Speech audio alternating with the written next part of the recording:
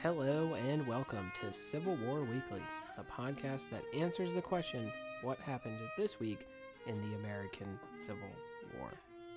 I'm your host, Tim Patrick, and this is episode 29, October 4th through October 10th, 1861.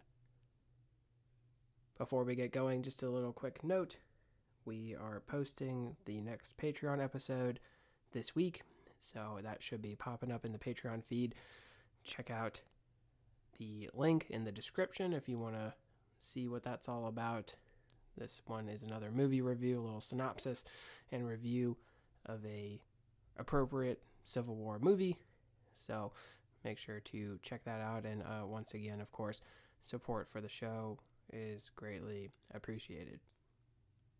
Last week, we looked at the Battle of Greenbrier River in Western Virginia and took a look at the Crimean War and its significance as compared to the American Civil War.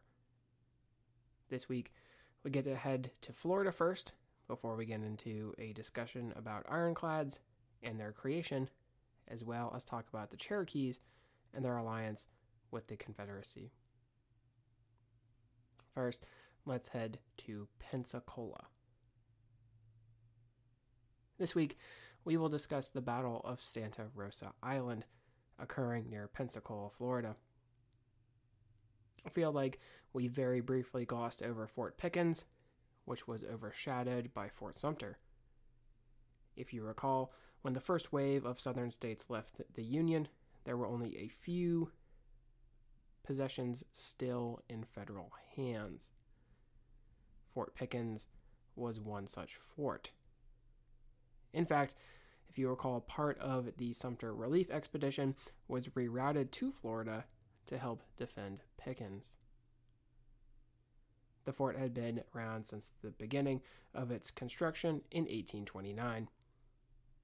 In the newly acquired territory of Florida, the fort was important to the protection of Pensacola Bay, which was considered to be one of the more important ports in the Americas, especially along the Gulf. It was very close to another key Confederate port of Mobile, which will play a part in our story yet to come. Nearby Pensacola had a history longer than the lifespan of the United States up until this point. Spanish exploration of the area went back to the 1500s and colonization back to the 1600s. The area changes hands several times, leading up to an American assault at the end of the War of 1812. At the time of its completion, Pickens, named for a revolutionary figure from South Carolina, was the largest brick structure on the Gulf of Mexico. Now, Confederate forces are staring from the panhandle of Florida at the Union controlled Fort Pickens on Santa Rosa Island. Their commander was one Braxton Bragg. If we are going to talk about Santa Rosa Island, then we might as well use it as an excuse to introduce another major figure of the war in Braxton Bragg. Braxton Bragg was born in North Carolina in 1817.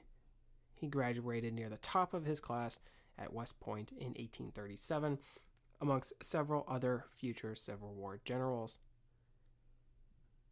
He would go on to serve in the Seminole War as well as in Mexico. It was in Mexico where Bragg would perform well as an artillery commander, earning the admiration of the Mississippi Regiment commanded by one Jefferson Davis. Bragg would not be liked by all, though. Reportedly, his men hated his strict discipline so much they attempted to set up an accidental shooting of their superior. This theme of Bragg not getting along with his subordinates will continue, so keep that in mind. In fact, if we take a look at the Patreon and Sam Watkins and his memoir, Company Aytch, there was some criticism of Bragg and some talk about his disciplinary measures and how they did not necessarily jive with the men under his command. So, shameless plug there. Go ahead and check that out. Before the Civil War, Braxton would resign his commission to become a plantation owner in Louisiana. Bragg will rise to become commander of the Army of Tennessee. I don't want to give too much away, but eventually Jefferson Davis will refuse his resignation. That should give you a clue as to how well that command goes. Bragg would survive the war and relocate to Mobile, Alabama, and then to Galveston, Texas. It was in Galveston where he would drop dead while taking a walk in 1876. Bragg's capability as a commander is a common topic of discussion. Jefferson Davis is usually criticized for sticking too long with the North Carolinian in the West. I know I like the baseball analogies, but it's kind of like starting a pitcher who's getting rocked, and the manager is like, ah, let's just let him try to figure it out. Anyway, I'll let you be the judge as our story unfolds. In October of 1861, Bragg would send Richard Anderson, along with around 1,000 men, to invade Santa Rosa Island and attack Camp Brown, which lay a little to the east of the fort. Anderson had attended West Point before serving in Mexico. The South Carolinian was served throughout the war, his command being virtually annihilated before the final surrender at Appomattox. Because of this, he was actually sent home a day before the final surrender. The planned attack on the camp was a retaliation to the federal forces having burned a Confederate ship being built called the Judah. Harvey Brown commanded men from New York along with U.S. regulars. Brown was a career soldier and would go on to command New York City during the draft riots later in the war. The 6th New York were known as Wilson Zouaves and apparently were a very tough group. It was said a requirement for joining the regiment was having done hard time. At 3:30 a.m., Anderson's men were able to successfully surprise the Yankees and drive them through the camp. The New Yorkers taking the brunt of the assault. Brown ordered a counterattack using his four companies of regulars to push the rebels out. The Southerners had stopped to loot their enemy before setting up a defensive position in order to meet the new attack by fresh Northern troops. Anderson had realized that Fort Pickens could not be taken by force and withdraw his men back to their landing site before daybreak. The Confederates would escape, still under fire, back to Pensacola using the same three barges they had come in on. Around 150 casualties were suffered by both sides, although, as is true with many engagements in the early part of the war, those numbers were greatly inflated for the purposes of the papers. In terms of a raid, we can safely say it was mildly successful. The Confederates did surprise the enemy and maybe in some ways avenge an earlier Union action. They did not drive the Northerners from the island, and they did not take Fort Pickens, however. Both sides would claim victory, as is our normal course of action during this early part of the war. I do want to talk about the creation of ironclad vessels, because on October 4th, the USS Monitor would officially be ordered. When I say that, I mean the Navy would seek the construction of the famous vessel. The story of how we got to that point, though, is pretty interesting. Now, as we will discuss here in a minute, there were inspirations for ironclad vessels across the pond. We mentioned back that the Confederacy was fortunate to have saved the whole of the Merrimac, soon to be CSS Virginia. The reason this was important was that the hull sat below the waterline. We have already mentioned why this is important, but the Confederacy and Stephen Mallory decided to combine the hull with metal armor to create an ironclad of their own. 723 tons of iron went to the creation of the vessel. The United States needed a response, otherwise, there was a real fear this vessel would wreak havoc on the blockading fleet. I have seen a quote that was to the effect that the Virginia would sail up the Potomac and start lobbing shells at the White House itself. Citizens from the private sector were asked to submit designs for ironclad vessels. One such man who received a contract was Connecticut born Cornelius Bushnell. Bushnell had seen success in taking over a bankrupt New Haven and New London Railroad. While lobbying in Washington, he caught the attention of Gideon Welles and President Lincoln. The railroad man received a contract after taking over a shipyard. The first design accepted by the Navy would become the USS Galena, an armored frigate. Bushnell would model the Galena on the HMS Warrior and the French armored frigate Glory. These were the first two ironclad vessels in Europe. The French had started to construct their warship in 1858, which created a panic in Britain that the French were getting ready to invade. This prompted the creation of the Warrior and her sister ship, the Black Prince. Design was simple. The hull would be made of iron and include the interior of the ship to be encased in a reinforced iron box. Called the Citadel, when all said and done, it would be two feet thick. Workers labored steadily in Portsmouth, and by 1860, the Warrior was complete. It weighed some 960 tons, fitted with 202 plates.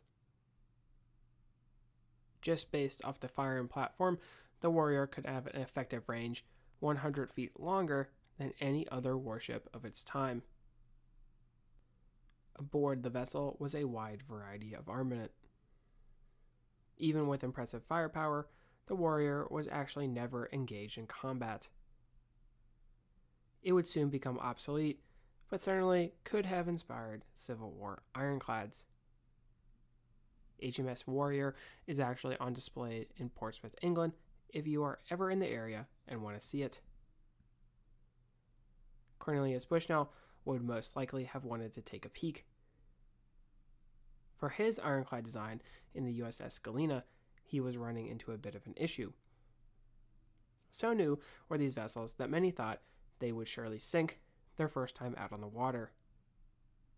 Bushnell would need to consult an expert to make sure his design could float. But where could such a man be found? Enter John Ericsson. Ericsson was born in Sweden in 1803.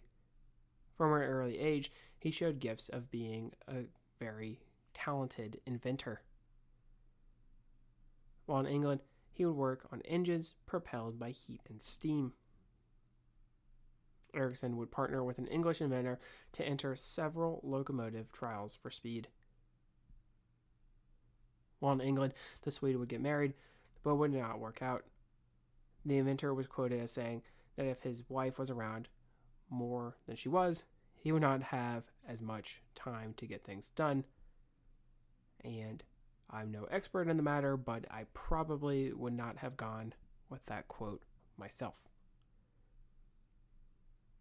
U.S. Navy Admiral David Stockton would meet Ericsson, and the two would become partners. Stockton would gain fame leading the U.S. Navy expedition to conquer California during the war with Mexico. In the 1830s, they began work on a screw propelled ship, eventually named the USS Princeton. Relations would sour, and this is not surprising. While building the monitor, the Navy would send David Dixon Porter to evaluate the progress. Ericsson would give the naval officer an incredibly tough time and say he knew nothing about the readings of his designs or plans and sort of made it clear that he was not approving of David Dixon Porter showing up to be the one to review his work. Not worthy was he. Surprisingly, Porter would give a mostly positive review of the monitor. Stockton designed guns for the Princeton, the largest of which was named the Peacemaker. President Tyler would cruise in the Princeton along with his staff. Upon a second firing of the Peacemaker, the gun misfired, resulting in the deaths of the Secretary of State Abel Upshur and the Secretary of the Navy Thomas Walker Gilmer, as well as President Tyler's longtime valet, a black slave named Armistead. If you remember Thomas Hart Benton, John C. Fremont's father in law, the politician actually suffered ear damage as a result of the incident. President Tyler was below deck, fortunately for him, and actually married the daughter of one of the victims.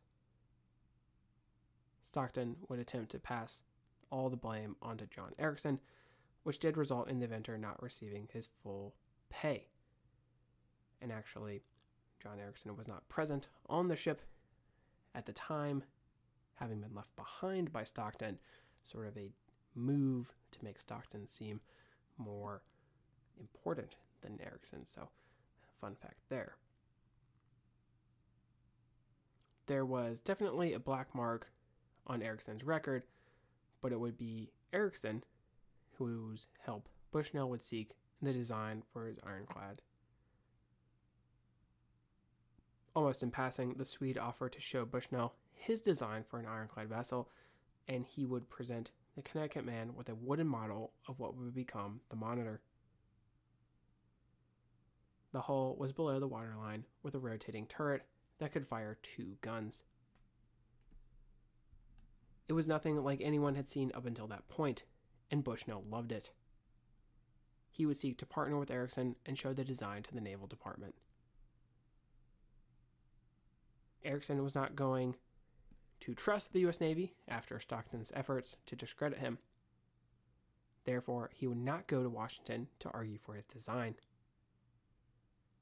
Bushnell would do so on their behalf. He would not be originally successful, not getting past all of the members of the review board. Bushnell would need the inventor himself to come and convince the board, but to do so, he would need to tell a little lie. He actually would inform Ericsson that they were approved and they loved the design, and the lack of approval coming as a shock to the Swede when he arrived in Washington. Fortunately, he was able to turn things around, and the fact that President Lincoln was an inventor himself did very much to helping the matter. Lincoln would give his approval, and work on the monitor would begin. In October, the Cherokee Nation would sign a treaty with the Confederacy. Remember, the Cherokees had relocated from the southeast. They would secede from the Union, drawing a declaration themselves. Disenfranchised by the Trail of Tears, and fearing that the federal government would open Oklahoma for white settlement, drove them to the decision. Remember, also, they had formed more relationships with Southerners and shared more of their culture than that of the North. Besides the overall impression that the Confederacy offered better treatment, the Confederates also offered a set of courts in Indian Territory more than what was offered by America. Oklahoma had a little mini civil war between those supporting Confederates and Union. Means he that stands on two feet was the leader of the Confederate forces of the Cherokee Nation. That is what the name means, but we know him as Stand Watie, who was born in Georgia. Buck Watie was his brother and who had gone north to school. Buck had advocated for the removal to the west in order to provide a better life for his tribe, especially away from alcohol. Because of this, his brother was actually killed. Stan would seek vengeance and fight against his rivals. Stand Watie learned English and served in Cherokee Supreme Court before the outbreak of the Civil War. His son would be the representative of the Cherokee at the Confederate Congress, as a matter of fact. Stand Watie would create a mounted rifle unit, the Cherokee Mounted Rifles. They would play a big role in the Battle of Pea Ridge early in 1862. Cherokees would change sides later in the war and spark their own conflicts in Oklahoma. Stand Watie was named a brigadier general, the only Native American to gain that rank during the war. During which time he was able to set up a large ambush and capture a large amount of Union supplies, as well as steal horses, so many so that there were some Union cavalry units that were actually forced to become infantry. Stand Watie would actually be the final Confederate general to surrender after Appomattox. Let's wrap it up there for today. We talked about the action of Santa Rosa Island and introduced Braxton Bragg. We also mentioned the creation of the ironclads and introduced the designer of the monitor, John Ericsson, we finished with a brief rundown of the Cherokee Nation siding with the Confederacy, as well as introduce Stand Watie. Next week, we will go over a few smaller events before having discussion to update us on world events early in 1862. If you like what you hear, please make sure to leave a review. Posted in the description should be a link to the website, Patreon, and Venmo information. Once again, there is a new episode that's going to be posted to the Patreon, so make sure to check that out if you're interested.